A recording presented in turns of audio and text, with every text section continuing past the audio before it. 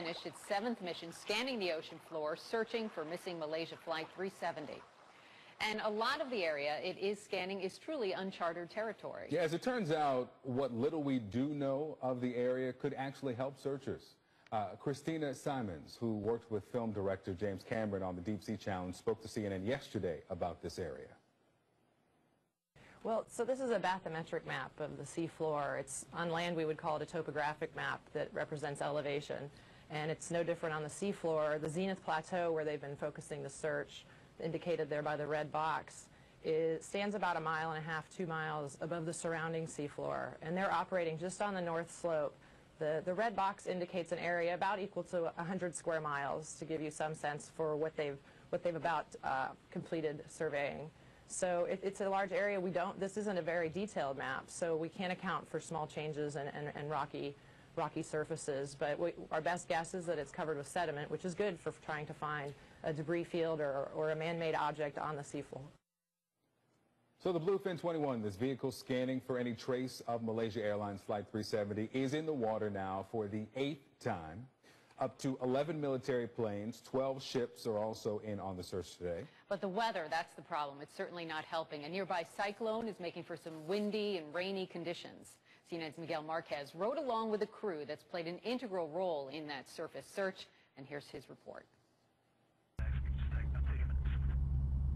Another day, another search, another hope of finding something, any scrap of debris related to Malaysian Flight 370.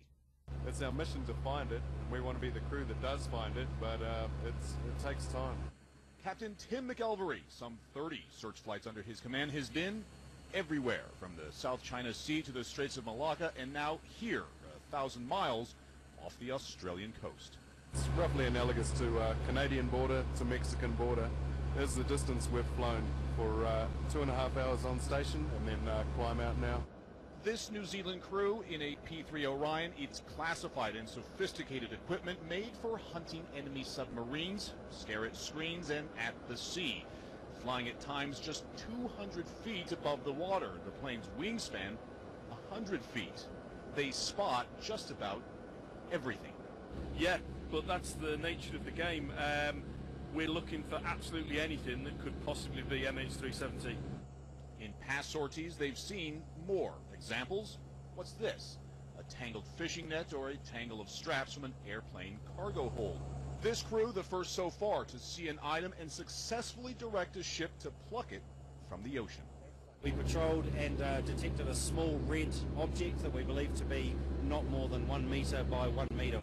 The Australian naval ship Perth responded from 20 miles away. It launched a team in an inflatable raft. The P-3 had enough fuel to stay on the scene and direct them to the object. It was a large bread basket or bread tray, the, the kind that you would typically find in a in a, uh, a supermarket holding um, 20 loaves of bread. Not from MH370. Another frustration. The mission goes on.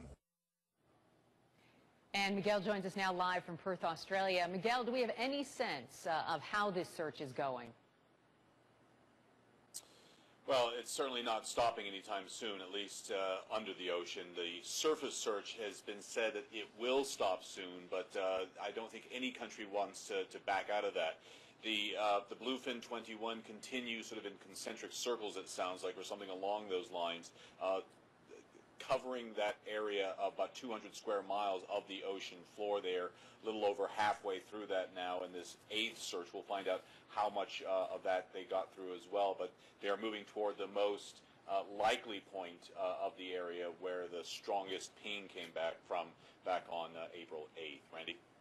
Miguel Marquez, uh, thank you very much.